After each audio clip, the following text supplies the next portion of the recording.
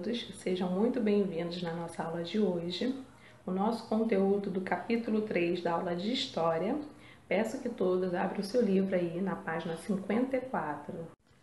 Na nossa aula de hoje, vamos abordar o Neolítico e a Idade dos Metais. Então, durante o Neolítico, os seres humanos desenvolveram a agricultura e a domesticação de animais. Como é que foi feito? Através da observação. Eles perceberam que as sementes que caíam no solo, elas germinavam.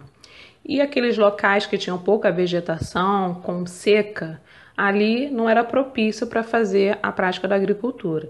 Então eles começaram a se fixar próximo ao rio, porque a água ali era abundante. E o desenvolvimento da agricultura e a domesticação de animais são considerados uma revolução, pois essas práticas mudaram radicalmente os hábitos alimentares e o modo de vida dos seres humanos.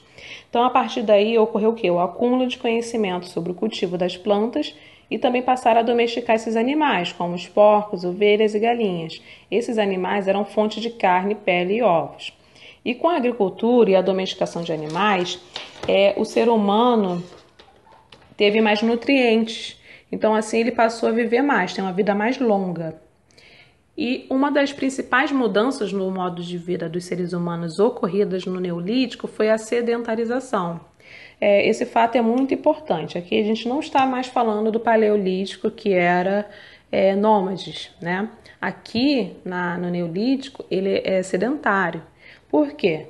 Porque com o desenvolvimento da agricultura e a domesticação de animais, permitiu que o ser humano não precisasse sair do local em busca de alimento. Então ele deixou de ser nômades e se tornou sedentários, tá? E agora na idade é, dos metais. A Idade dos Metais é o último período da pré-história e teve início há cerca de 8 mil anos. A Idade dos Metais ela foi dividida em três momentos.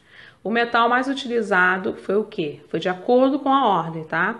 Cada, é, cada metal mais utilizado. O primeiro dele foi o cobre, tá? O cobre ele, ele era derretido, moldado em forma de pedra e quando esfriava, o metal terminava de ser moldado com o uso de martelos. E o segundo utilizado foi o bronze, que foi há cerca de 6 mil anos atrás.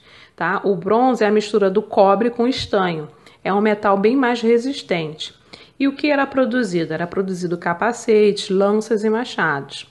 O bronze começou a ser utilizado na região da Mesopotâmia, onde atualmente se encontra o Oriente Médio. Também nessa região surgiu as primeiras cidades. E por último, o ferro, o ferro foi por volta de 3.500 anos atrás, tá? Como é que era feita essa técnica? Era necessário o uso de fornos com altas temperaturas e uma das causas que né, o ferro demorava a ser manipulado, até porque tinha que é, colocar em temperaturas altíssimas. E essas armas que eles faziam, essas ferramentas, eram produtos, né? É, como posso falar? Essas ferramentas eram o quê? Enxadas, arado, até para utilizar também na agricultura. E essas inovações foram trazidas pela manipulação de metais, que modificaram a relação do ser humano com a natureza. Então, antes, as pessoas conviviam e se adaptavam às condições naturais. Com o passar do tempo, a humanidade passou a mudar a natureza para que ela atendesse às suas necessidades. Então, anteriormente, o homem era obrigado a se adaptar à natureza e logo depois não, logo depois o homem passou a modificá-la de acordo com a necessidade. Então, com isso, causou o quê? É, florestas começaram a ser derrubadas, a produção agrícola aumentou e as disputas entre diferentes sociedades por regiões com melhores pastos e por terras férteis ficaram mais intensas. Então, a partir daí foi dando origem né, aí de guerras para quem domina a sociedade da outra. Então, nesse capítulo, estudamos como era a vida dos seres humanos no Neolítico, o desenvolvimento da agricultura e a domesticação de animais, como os grupos humanos deixaram de ser nômades e a idade dos metais. Espero que todos tenham gostado, façam um ótimo estudo e até breve.